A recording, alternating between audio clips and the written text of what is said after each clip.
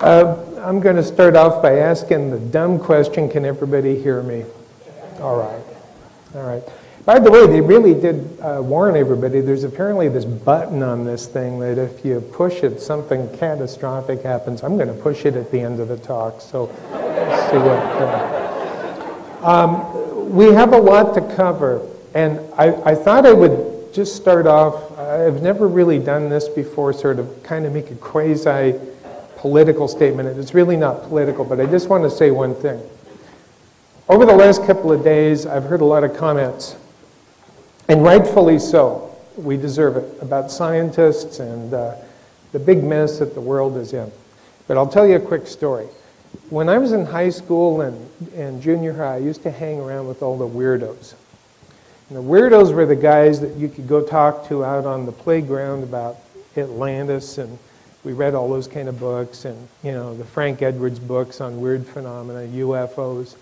And then later on in high school, we kind of got into, primarily it was various, you know, amine amide sort of compounds added onto lysergic acid and all that kind of stuff. And, and, and, and I thought, wow, this is great. You know, there's this kind of really unique group of weird thinking people, very free thinking. And as I grew up, those guys all started to get like regular jobs and mortgages and, you know, and it was like, where's all the, you know, the really strange guys? And I finally got a, I finally found the thing I love to do, which is physics. And, but all this time, there'd been for 15 years, 20 years, this kind of like, where are those, those free thinkers? And I was in the middle of a military installation, and this guy came over and tapped me on the shoulder, and he said, this, this guy wants to go to lunch with you alone, and I can't mention the person's name. And, uh, but uh, Colonel Alexander took me to, uh, John Alexander took me to lunch, and I suddenly found, oh my God, these are where these guys are now. And all of a sudden, we was right back there on the playground. We were talking about, oh yeah, you heard about that shipboard experiment too, and all of that. So I will tell you that, you know, when Don Spencer had the idea for the high energy chemical laser. He said it knocked him to his knees. He had a vision. He had a vision of two worlds, one in which there was going to be a catastrophe between the Soviet Union and the United States, and another which might be avoided. And he literally said this dropped him to his knees. And what came through at that point, he said, was this strong prayer that was, he said, like felt himself enveloping the world that was God bless this laser for the good of mankind. And you'll find many scientists that work in those communities actually are the more open minded, the more willing to talk. I mean, this yoga talk where I work, they think it's great. I mean, everybody there, the president of the company is into like weird ancient civilizations and all that kind of stuff. It's if you go to the academic community, you're going to find that, that those are the reincarnated priests from the Middle Ages. All right? I've got a lot to go through, and I want to get to Angie's great new artwork. So, look, um, basically, a lot of you have seen these charts, but Walter told me there'd be quite a few new people here.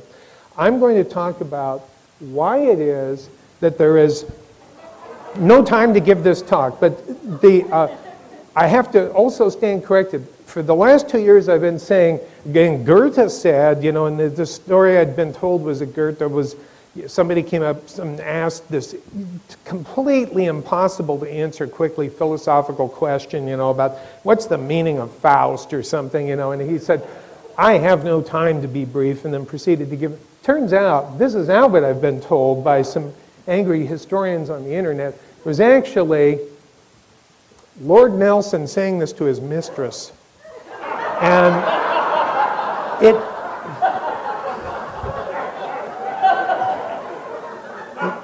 takes on a totally different meaning. And so basically, um, I, look, I, I, I, have no doubt, uh, and also for those of you that didn't hear this comment, uh, by the way, and the slide is staying on number one here. So, oh, I guess I need to advance this. I don't know anything about computers. I hate the things to tell you the truth. I, think this is a, a technology that'll soon be gone, by the way. I'm serious. It, this is, uh, if you knew what's coming, the computer's a thing of the past. It's a ridiculous instrument. But basically, the, uh, the, the, the, there are no doubt there are a lot of influences, and I do not question that there is going to be some type of profound Im, uh, effects from things like impacts, uh, earthquake events. We also notice how we kind of leave another one of these things off of there, which is we don't always talk about, um, you know, we got long period comets and periodic increases in comet bombardment, you know, and all that. Yeah, all these things could be caused, but there's another thing that goes on this planet too. I'm not going to get too negative, but let's face it, there have been wars in the past. You all know the line from uh, Robert Oppenheimer when, after uh, the bombs were used in Japan, and physicists to this day carry that guilt, myself, every one of us, every one of us. Uh, uh sometime uh, not here, but I'll tell you the story about the first time I met a survivor of Hiroshima. And it was even then, there was that energy of what my predecessors had done. But it happened. And uh, Oppenheimer was asked by the press, is this the first time, you know, meaning, did the Russians or, Je- or Germans get anywhere close? And he said, no, this is the first time nuclear weapons have been used in a very long time. And as you know, he was a student of the Vedic scriptures. So, um, and, you know, a lot of this stuff I'm going to just basically kind of go through. Uh, I also, by the way, will tell you if you want another really fantastic, uh, flat out description of the Yuga. This Kalevala epic, the more I'm reading about it, it is really right up there with the Epic of Gilgamesh and the Ramayana and all. I mean, it is one of the world's great uh, traditions. This is from uh, uh basically Finland. Uh, fantastic accounting of uh, the Golden Age, the Silver Age, and the quest for this thing that, that was responsible, responsible for those ages that we lost. And uh, in what I'm going to talk about is okay, we've got a binary cycle.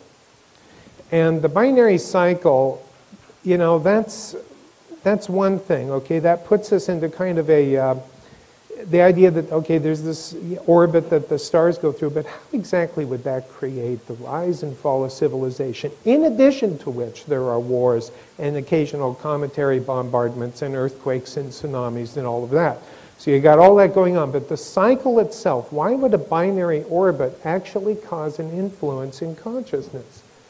And so what was postulated, in fact, I'm going to stand back here so I can see the slide too, and then we'll use the laser to kind of point certain things out.